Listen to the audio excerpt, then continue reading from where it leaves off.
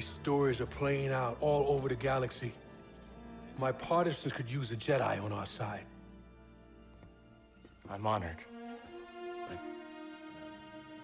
we have our own mission I can't walk away from. Not yet. The offer stands. Keep it in mind.